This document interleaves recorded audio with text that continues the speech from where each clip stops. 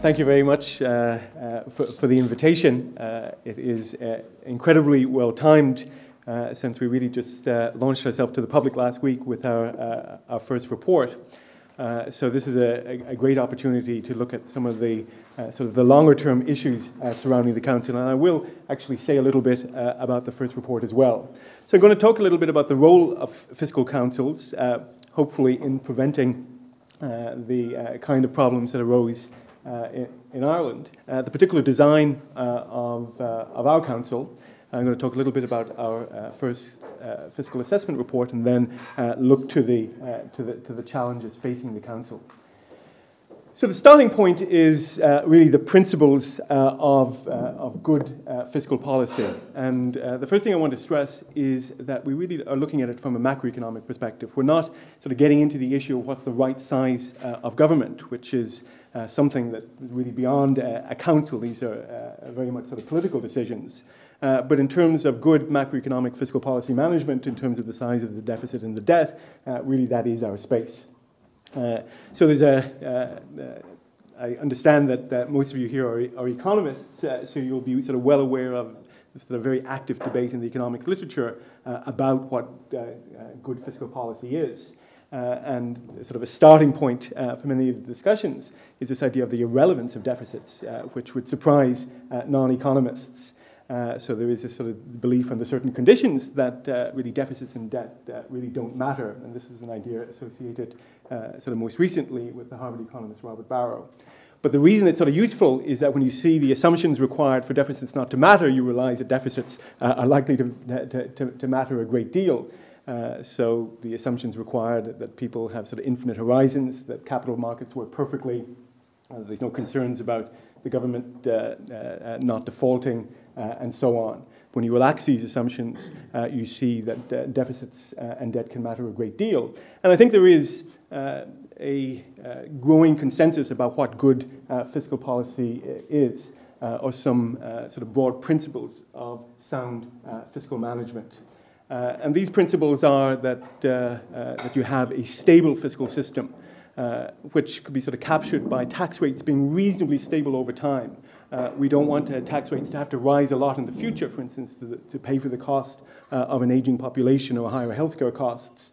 Uh, so, for reasons of intergenerational fairness, but also just for reasons of economic efficiency, we want a reasonably stable system, not only for, for tax rates, but also for benefits rates, such as uh, pension rates, uh, so that people can sort of plan for their retirement and, and, sort of believe that those pensions will be there. Uh, another important principle is that uh, we need to uh, maintain creditworthiness, something that would have been sort of taken for granted up until quite recently. Uh, but uh, uh, we certainly need to, to manage fiscal policy to make sure that creditworthiness is, is retained. And finally, that we need to have enough fiscal space to engage in countercyclical fiscal policies when needed. so this is sort of, I think, a set of principles that's sort of broadly agreed within the economics uh, profession uh, in terms of what sound fiscal policy management is. But and this is not meant to be in any way specific to Ireland. Uh, the literature has very much focused on the idea that there are political biases uh, of various uh, kinds in the making of fiscal policy uh, that will often move us away from these principles of, of, of, sound fiscal management. Um, and uh, these biases can take various uh, forms. Uh, many of them can be sort of grouped as uh, resulting from uh, conflicts of interest of various types. There's the common pool problem, where various interest groups control uh, or influence spending in particular areas and don't worry about the, the ex externality that their push for spending has in terms of the need for higher taxes or potentially higher deficits to pay for that spending. So you basically have this collective action problem uh, that leads to uh, essentially excess uh, uh deficits in the economy. You can also have short political uh, uh, time horizons. Governments are only in power for a certain length of time and are not surprisingly not going to be that concerned or as concerned about what happens when they leave office. so again, you can have this bias towards deficits and debt accumulation. Uh, you can also have strategic deficits. I don't think this is a big issue in the Irish case, but I think it's a huge issue in the US case, particularly when you have administrations uh, of different ideological uh, leaning uh, following one another. So the Bush tax cuts could have been seen as an effort to actually constrain future democratic administrations by having big deficits, building up debt, and making it harder for uh, future democratic administrations uh, to maintain uh, spending. so this can again lead to a bias towards deficits and debt. and finally, there is the, the fact that people are not equally well informed. Uh, you could have the government being quite well informed about what it needs to do, but dealing with a relatively uninformed population. Uh, and then if you have various sort of populist media, media or populist politicians, uh, can make it very hard for the government uh, to stay in power uh, doing the right thing. But you could also have a populist government uh, sort of willing to sort of exploit uh, the, um, the, the, fact that the population is not fully informed to pursue policies that may be good politically in the short term, but not good for the, for the longer term. So all of these sorts of conflicts of interest lead uh, to this, uh, this bias towards deficits and debt. And then I think very importantly, there's an, an additional political problem uh, that, uh, again, the economists among you will be very familiar with, this idea of time inconsistency and the commitment to problem associated with it. and it comes really in this context from the fact that default is, is there as an option. but expectations of default lead to a higher risk premium uh, and uh, they can maybe lead to, to, to market exclusion completely. Uh, and there's a danger of falling into this bad equilibrium where uh, the markets come to expect uh, default, push up interest rates, uh, and because of the higher interest rates, default actually happens. and the, the reason this is sort of stemming from a problem in politics is that if governments could actually commit and really convince the markets that default would be an absolutely last resort, they could avoid getting into this uh, cycle uh, of expectations becoming self fulfilling. Uh, but because they can't make those uh, commitments, uh, they, uh, these expectations develop, and you can sort of fall into the kind of traps that we've been seeing at the moment. So, a starting point is that under democratic politics, again, it's nothing Irish specific, there are problems with the formulation of fiscal policy. Uh, and then the idea is that uh, fiscal institutions of various kinds uh, can be designed to improve fiscal policy, uh, sort of moving us towards uh, those sound principles that I talked about earlier. And the institutions can be uh, really fiscal processes, so strong departments of finance that can solve this common pool problem that I talked about before. The literature shows actually that strong departments of finance don't tend to work that as well in the context of coalition governments. So the new institutional innovation of actually having both coalition partners being sort of part of finance with this new Department uh, of Public Expenditure and Reform uh, seems like a, a, sort of a very good innovation in terms of dealing with that, sort of moving in the direction of medium-term frameworks and sort of longer-term commitments uh, to good fiscal policy.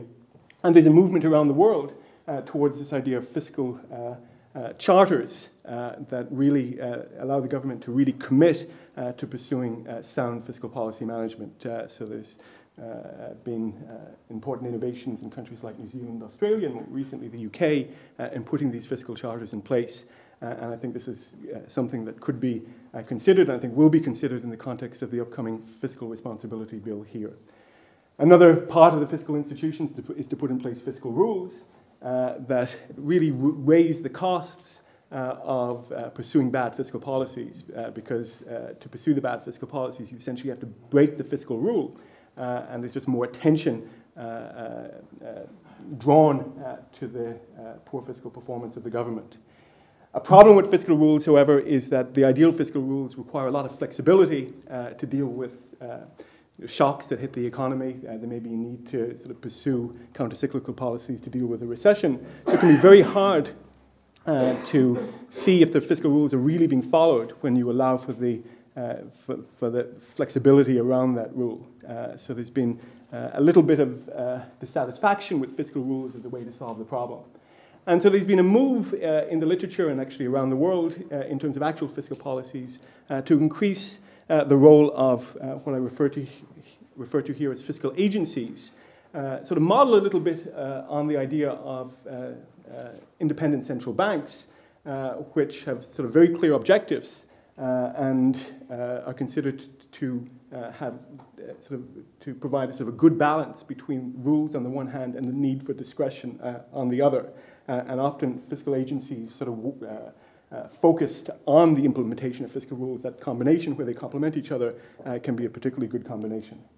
Uh, so fiscal agencies can, can, take really different forms. Fiscal authorities would actually give the agency powers uh, over fiscal policy, for instance, the power to decide what the deficit should be. Uh, and that's again somewhat like uh, uh, an independent central bank that has the power to actually set the interest rate. But I think there's, for the most part, a consensus, not a complete consensus, but sort of a a reasonable uh, agreement that in a democracy, uh, the nature of fiscal policy is such that you don't want to delegate uh, to an independent agency, even for something like the deficit. That these are, uh, there's disagreement, first of all, in terms of what uh, optimal fiscal policy is, uh, and the, these issues are intensely redistributional. and for, for that reason, these are decisions that should be made by elected representatives uh, not appointed officials. So then there's this idea of a fiscal council, which is sort of a soft version uh, of the fiscal agency. Uh, and the idea is that a fiscal council would be more advisory, uh, really uh, focusing on uh, assessing and inputting in terms of its analysis into the fiscal policy process, but ultimately recognizing that these fiscal policy decisions are decisions that have to be made by, by governments. So the basic rationales then for fiscal councils would be, on the one hand, uh, better analysis, so identifying uh, what good fiscal policy is or what appropriate fiscal policy is, and also to try to reduce these various political biases that I talked about before, essentially by raising the costs uh, of running inappropriate fiscal policy. Uh, there are varieties of fiscal councils around the world. Uh, they really go back uh, to, the, to the 1940s, and a fiscal council, or wasn't called a fiscal council, but uh, very much functioning as a fiscal council in the Netherlands. Uh, the, U- the US uh, put effectively a fiscal council in place with its Congressional Budget Office in the 1970s. There have also been uh, Uh, important uh, uh, councils operating for some time in countries like Belgium and Denmark. Uh, and in recent years, there's been uh, growing interest in fiscal councils. so the UK has put a fiscal council in place, Sweden uh, has done so, uh, Slovenia, uh, Canada. so they're becoming a more and more accepted part of the overall fiscal architecture around the world.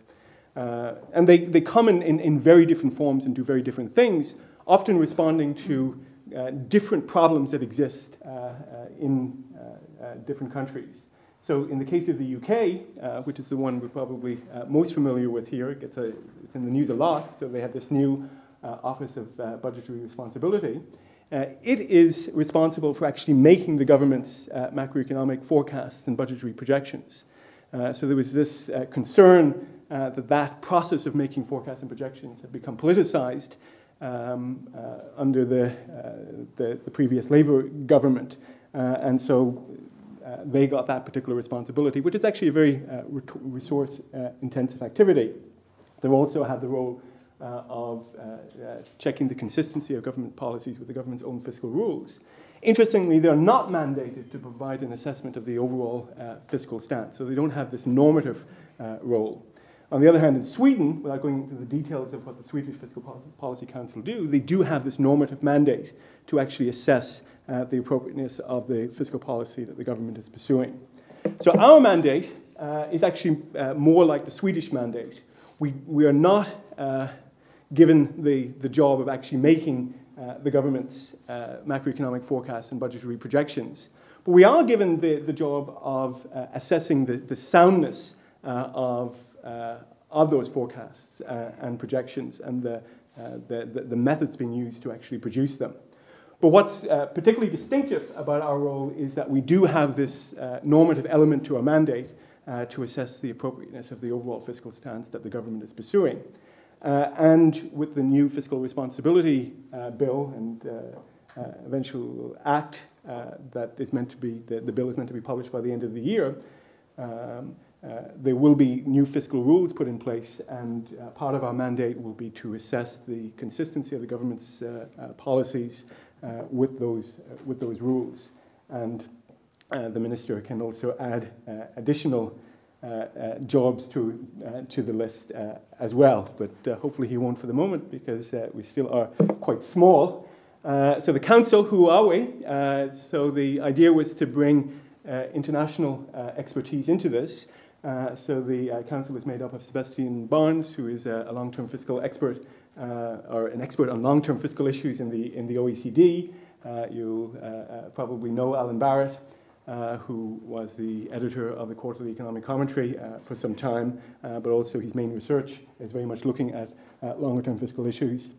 Uh, Donald Donovan, again, many of you will know, who is currently an adjunct professor at the University of Limerick and formerly a deputy director at the, at the IMF. there is me, I'm the chair of the council. Uh, and we've also uh, Roisin O'Sullivan, uh, uh, who is a professor at Smith's College in Massachusetts uh, and has sort of worked a lot uh, in the area of monetary policy on the design uh, of uh, good institutions to make monetary policy work better. So uh, she brings a lot of expertise in terms of institutional design. Uh, we have a small secretariat headed by Dermot Smith, who's on secondment from the, from the central bank. Um, and you can see our resources are fairly thin given the, the uh, quite uh, extensive uh, mandate uh, that we have, and I can assure you everybody is being extremely busy. Uh, I should say that the, the council are essentially volunteers. These are in addition to our, uh, our real jobs. The non-public sector members of the council receive a, a small stipend, but the members of the council that actually work in the public sector, which is myself and, and Alan, uh, uh, do, do not get compensated for, for our work here. Uh, so in terms of delivering on the mandate, uh, so that we can actually uh, uh, do what we're meant to do and play the, the important role that fiscal councils can play, the, what I see as being critical is that we have to have the technical compet competencies to do the analysis, credible analysis, and, and to bring that to the public. so we're building those technical competency, competencies competencies uh, at the moment. Uh, I'm a little bit concerned uh, that we really don't have the resources, and the resources haven't planned for us to play the role that we, uh, we need to play. Uh, so that's something that I think that will have to be looked at.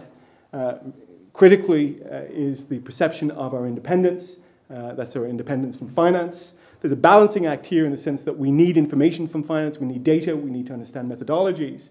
Uh, but at the same time, we absolutely have to uh, prevent any sort of capture uh, of finance uh, uh, of the activities of the council. Uh, so we keep our interactions with finance to an absolute minimum and very much sort of based on sort of technical questions. And given that independence is, is, is, so critical, we also have to think about accountability. but we want that accountability to be as divorced as possible uh, from finance itself. Uh, so, for instance, uh, uh we will be making appearances before uh, relevant uh, committees. We're going to be having peer review of our activities and, and so on. So, we actually have our first appearance before the Joint Oireachtas Committee on Finance, Public Expenditure and Reform next week on the first report. And public visibility will be absolutely critical, which is why I'm very happy to, to do events such as this. Uh, so we are a public watchdog, uh, and uh, we're not going to be sort of working through back channels uh, to finance in terms of our assessments. They're going to be very much public assessments. Uh, and we tried to get off to a good start last week by getting as much sort of public visibility to our first assessment report as possible. So the permanent design of the council will be determined in this new fiscal responsibility bill uh, so we're just currently operating on an interim basis, and we're uh, one of the things we're doing at the moment is really uh, trying to figure out uh, uh, how we need to be designed to ensure uh, that we have the resources that we need to, to, to function properly, that we are independent, we have this public visibility, and so on. So key outputs, we will be reporting at least three times per year. We'll have these biannual fiscal assessment reports we will also have an annual report, which will probably be uh, more focused on, on, on longer term fiscal issues uh, and, and shorter supplementary, supplementary commentaries as required, for instance, in response to the budget, in response to the publication of the pre budget outlook, and so on. And at the moment, we're working very hard in terms of our input into the fiscal responsibility bill. Which is following on from the Department of Finance discussion document, which laid out the, government's plan in this particular area. And we'll be reporting again publicly in terms of our advice for the design of the bill shortly the real value of the council is for the, for the long term uh, to prevent uh, the kind of crisis uh, uh that uh, uh, we're, we're still trying to find our way out of. Uh, so uh, it really is a, a, surveillance role to make sure that these vulnerabilities that uh, led to the crisis are not allowed to occur again. but we're also sort of inputting into sort of the medium-term fiscal strategy uh, and uh, that's really what our first uh, assessment report was all about. This is a sort of a critical moment in the making of Irish fiscal policy.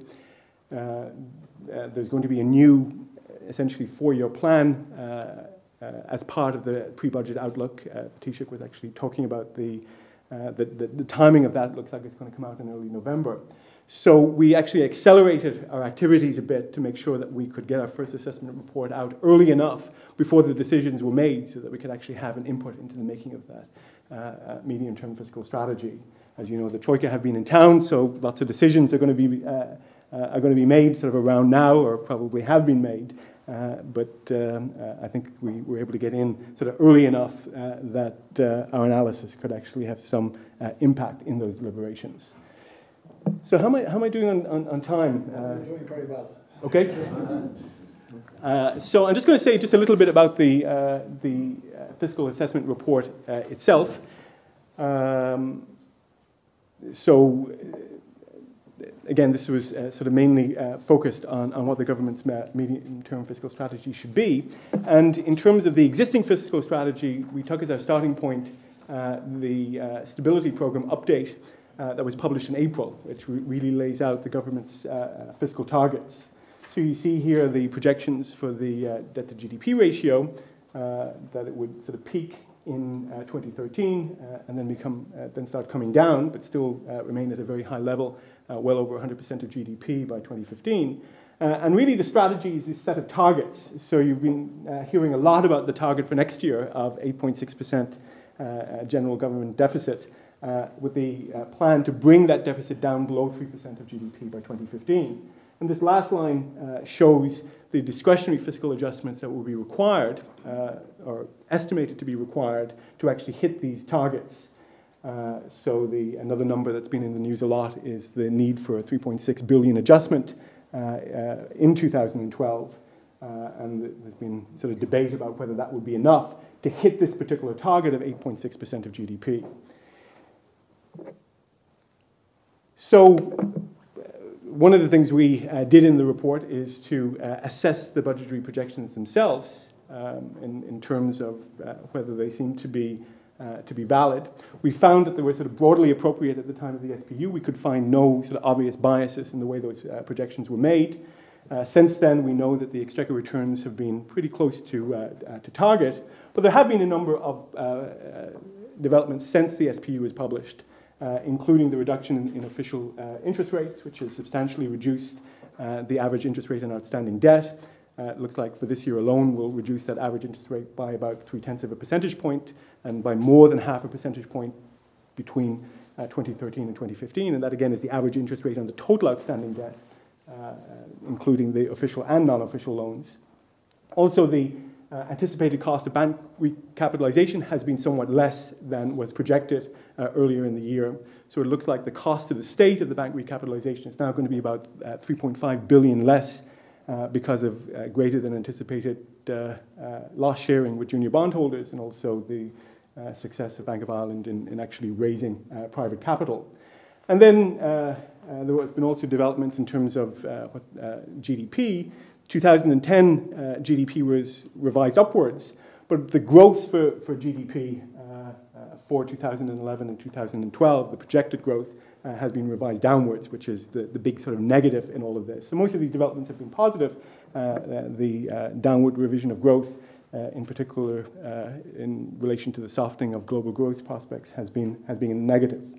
So really what we're, what we're doing here is just allowing for these post-SPU developments uh, not that we're making really alternative uh, uh, projections from the government. But in order to be able to assess uh, their fiscal stance, we really needed to know where things stood at the moment given these developments. Uh, and it's a sort of a pity in a way that much of the coverage last week was sort of focusing on the different estimates that we've come to in terms of what's going to sort of happen uh, in terms of these key fiscal variables out over the next uh, uh, number of years to 2015. But that was seemed to be where the main media focus was. So we've developed what we call a fiscal feedbacks model, which allows us to make these projections. Uh, so it's sort of based on the SPU, but allows us to run uh, sort of alternative uh, scenarios through it uh, to see what the effect of alternative fiscal policies uh, would be. So that's where uh, these results are coming from. Uh, so when we uh, allow for all these various developments, we estimate that the deficit would be 8.8% of GDP next year if the government still followed its plans. But very interestingly, uh, if, it, if it followed its plans, uh, it would still actually hit the 2.8% of GDP target for 2015. So the problem is really just really a problem for, for, for next year, missing the 8.6 target for 2012. Uh, when we put all these things together, the government is still on track uh, to hit uh, the uh, target of getting the, the deficit down below 3% of GDP by 2015. So the additional adjustments required to hit the 8.6% uh, of GDP target, are essentially an extra 400 uh, million in adjustments, bringing the overall adjustment required for 2012 uh, to, uh, uh, to, to, 4 billion. But again, this is not really the, I think, the main uh, value of the council, it, but it's just that we needed to know where things stood at the moment as we looked at the overall fiscal stance itself. So in terms of the assessment of the fiscal stance, which we're taking here to be the actual targets for the general government deficit out to 2015, and particularly that target of bringing it down below 3% of GDP. So it's clearly a, a, difficult balancing act in terms of these principles of good fiscal management that I talked about before. Uh, on the one hand, uh, the uh, public finances need to be rebuilt. The debt is still incredibly high and falling quite slowly. Uh, there were, as you know, huge funding uh, vulnerabilities, uh, both for market funding and official funding. I'll talk about that more in just a second. And then, of course, we have to be concerned about the effects of austerity on the economy, uh, uh, which we believe will be, will be negative for the economy. So we don't believe in this idea of the expansionary fiscal contraction, that austerity actually increases growth. So there are real trade offs here. Uh, and uh, identifying the uh, proper fiscal stance is, is, is, really a matter of, of judgment and a difficult balancing act. but the big question we're asking ourselves is, is there an argument for more ambitious targets? this graph just shows the fragility of our debt sustainability. On current plans, it does look like we will stabilize the debt to GDP ratio and it will slowly begin coming down. If nominal GDP growth is one percentage point less than forecast, uh, it will still stabilize, but at a, at a, substantially higher level, about 120% of GDP. If nominal GDP came in two percentage points less, which is conceivable, uh, you can see that the, uh, the debt sort of remains on a, an explosive path, uh, uh, certainly over the period that we're, we're looking at here. Also, if we do, uh, if we follow the, the current strategy, once we get essentially to 2015, the debt will be on a very slow downward path. So even by the time we go out to 2030, uh, we're still far from the 60% Maastricht target for the debt to GDP ratio. Uh, so we'd be we'd continue to have huge vulnerabilities uh, over this period, uh, and uh, also putting a big burden uh, onto future generations in the process. So this essentially assumes that the primary surplus that's achieved by 2015 is held constant, so there's sort of no further fiscal adjustment beyond that point, uh, and we're assuming a one percentage point gap between the, between the interest rate uh, and, the, uh, and the growth rate. There are also huge funding vulnerabilities. Uh, it's a very uncertain external environment. The uh, European crisis resolution policies are still very much in a state of flux. And what we see uh, is that there's increasingly sort of a distinction made between countries that are considered insolvent, particularly Greece, and countries that are considered illiquid, which for the moment really the list is Italy and, uh, and Spain. And then Ireland can kind of fall uh, in one group or the other, and it's still very much to play for. And depending on which analyst is talking, they can actually lump Ireland in with Greece and possibly Portugal. Uh, and other analysts uh, see Ireland as being uh, more of sort of illiquid. And the way the policies are shaping up is that the illiquid countries will get the backstop that they need, which will be critical to getting back into the market. Uh, while uh, uh, default will essentially be imposed on countries that are considered to be insolvent, and we can certainly see Greece going in that direction. So there's a lot to play for, uh, and there is a huge return to really being on the right list uh, in terms of the country that's considered to be illiquid and will get the support that it needs to, to avoid default. I won't go into sort of issues about default, but I think that would be incredibly costly long term uh, to, the, to the Irish economy. creditworthiness is just a, a a, very valuable asset to an international trading nation uh, such as Ireland that would be uh, severely damaged uh, by any uh, sort of official default.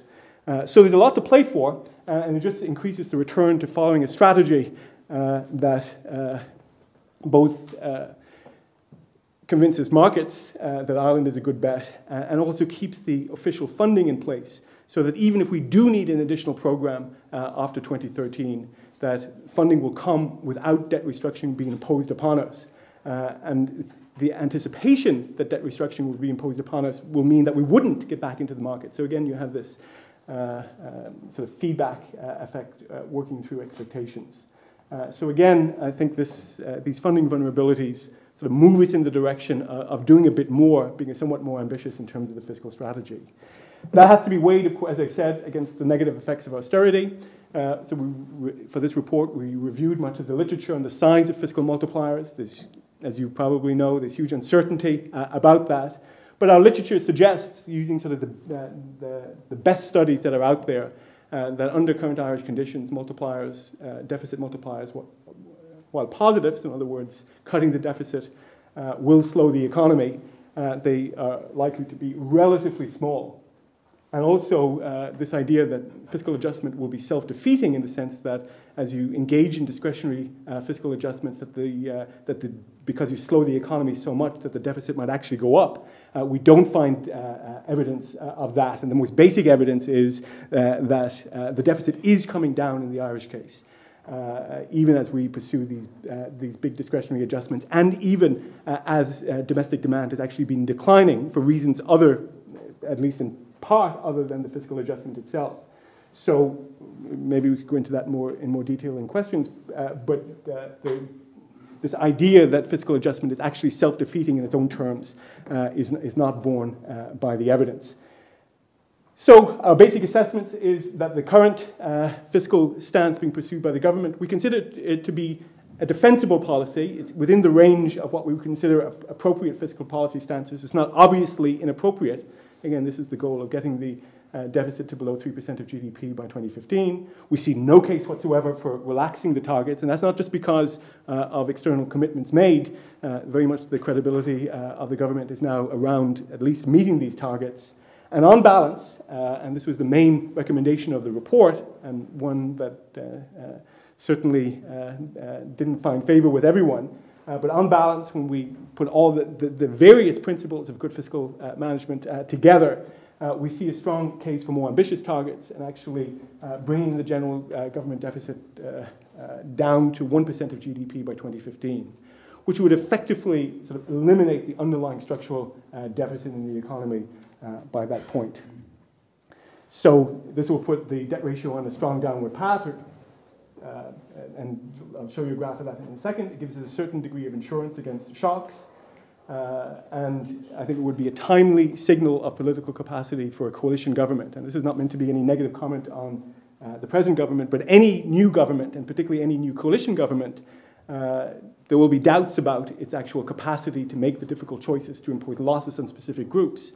And going a little bit further, uh, of even in the upcoming budget, I think would be a strong signal that it has the capacity to see the adjustment through, which was largely behind our recommendation that even in the upcoming budget, that the target be uh, moved from 8.6% uh, of GDP to 8.4% of GDP, beginning that process of moving uh, the overall deficit down uh, to 1% of GDP. Again, I do understand the criticisms uh, from the government. It's easy for us to say this, to throw out these numbers uh, when you're sitting at a cabinet table and having to make these very difficult decisions uh, to find an extra 400 uh, million of cuts. So I uh, absolutely see that. But I think, again, putting it all together, that the returns to these additional actions are, are quite high. So with the amended uh, stability uh, program update, with these adjustments I talked about made, and with the revised targets, uh, we see that uh, uh, based on our simulations, we would get the, uh, the deficit down to 1% of GDP by 2015. And you can see here the overall discretionary adjustments that, are, that would be required to actually do this in the context of the, of the model that we're using.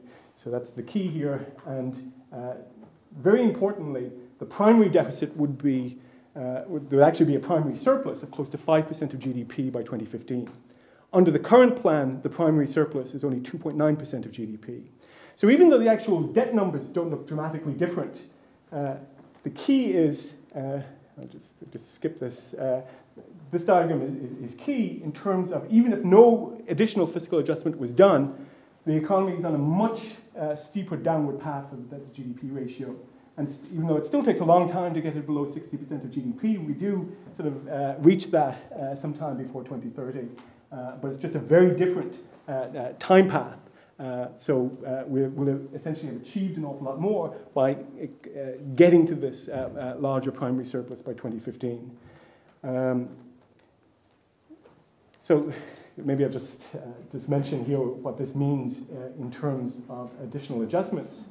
Uh, overall, there would be 4.4 billion uh, of adjustment required uh, in 2012, and substantially bigger adjustments than, uh, than uh, planned uh, for additional years as well. So these are the overall additional adjustments that will be required, both to essentially both as a result of the amendments that we made to the stability program update itself and these more ambitious targets. So, summary of the first report then, the basic uh, projections uh, were fine. We really didn't see any problem with that. Uh, we do believe that the 2.8% uh, uh, target for 2015 is still achievable, but based on our estimates, uh, the 8.6% of GDP target would not be achievable for next year without additional ad adjustments. But the, the, the basic message, or the basic recommendation from the report is that there is this case for more ambitious targets. Uh, in terms of bringing the deficit uh, target down from 3% of GDP to 1% of GDP. So next step for the Council uh, we're now working uh, hard in terms of our input into the fiscal responsibility bill, uh, and uh, uh, given that it needs to be published by the end of the year, and of course Christmas comes before that and everything, uh, there's been a lot of pressure put on us to, to produce our input quickly, so we've just drawn a breath from getting the first report out, and we've had to turn to these, these other incredibly important issues very quickly. Uh, of course, we're going to be engaging in ongoing fiscal surveillance, uh, uh, including of the upcoming pre-budget outlook and the budget itself. But the most important thing that this first council hopes to do is to bequeath an actual strong uh, fiscal institution that will be a sort of uh, an important pillar of Ireland's uh, fiscal pol policy architecture, so that we build up our technical competencies, that we really develop this reputation for independence, uh, and that we're firmly established uh, as a public watchdog, and the, the public is aware that we're there and trusts us uh, to be keeping a close eye uh, on fiscal policy development. So, if we can achieve that as a first council, uh, uh, we will feel that we, we have done our job. but I very much look forward to your question. Thank you very much.